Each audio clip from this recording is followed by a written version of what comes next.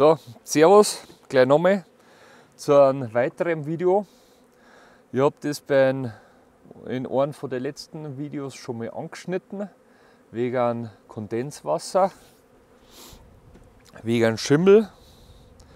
Ähm, da ist mir danach noch eingefallen, das gehört dann ein bisschen anders ausgeführt. Pff, da könnte ich jetzt nicht brauchen. Ähm, da habe ich euch gezeigt, dass da in die Deckel habe ich da Hinterlüftungsleisten drin, cm dick, die sind jetzt ein bisschen schmal, die gehören ein bisschen, ein bisschen äh, breiter gemacht. Ja, sag einmal.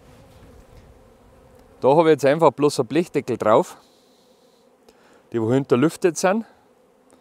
Ich sehe das bei, was heißt, übertrieben gesehen viel.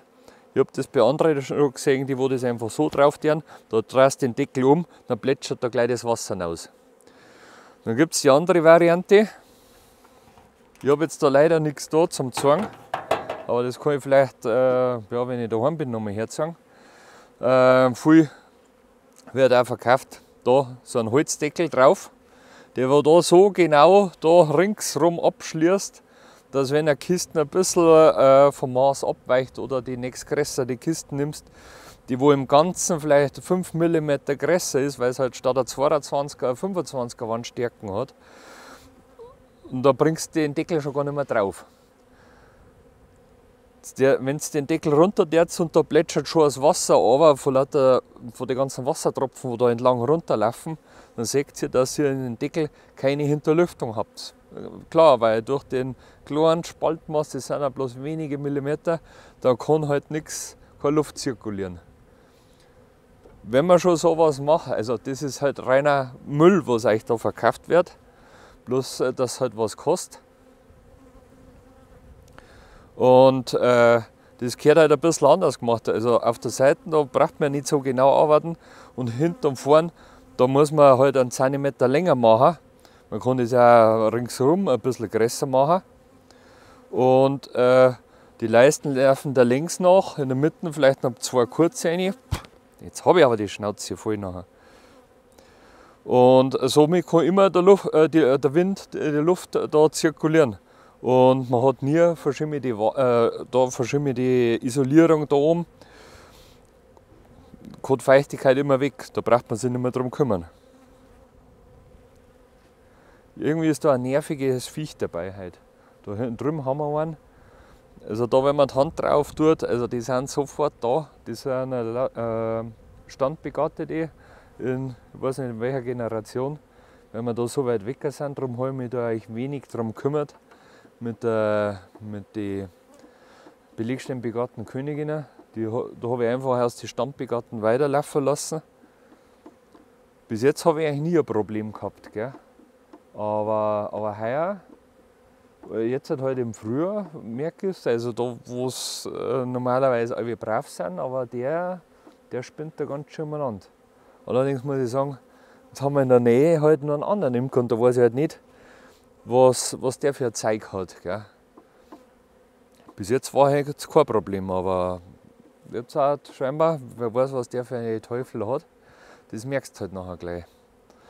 Aber anderes Thema. So, wir waren jetzt bei der, beim Deckel, Hinterlüftung, Feuchtigkeit.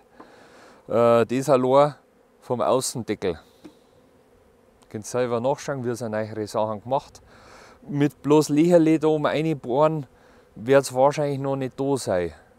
Also wenn innen nicht der Abstand da ist, dann könnt ihr oben da kleine, keine kleinen Lecherl, da müsst ihr schon größere Lecherle reinbohren. Äh, ich weiß nicht, 15er, 15er Leher und nachher mehrere nebeneinander. Und dann braucht es wahrscheinlich ein Gitter hier, dass nicht da irgendwelche Viecher einziehen. Und dann könnt ihr vielleicht äh, dadurch mit sowas noch behelfen, dass wenigstens die Feuchtigkeit da wegbringt. Aber im Grunde äh, braucht es die nicht unbedingt.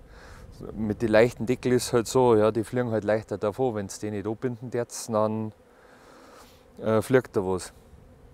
Noch was ist, äh, wenn ich die Leisten da drinnen habe, in den Deckel da, Ihr seht, so wie der schon da liegt, wenn ich das äh, so herrichte, Deckel auf, umdreht er da hingelegt und dann kann ich da gleich wieder Sagen draufstapeln Das Gewicht wird nach unten übertragen durch die Leisten, nicht irgendwelche bloß ein paar Punkte sondern die Leisten übertragen das Gewicht.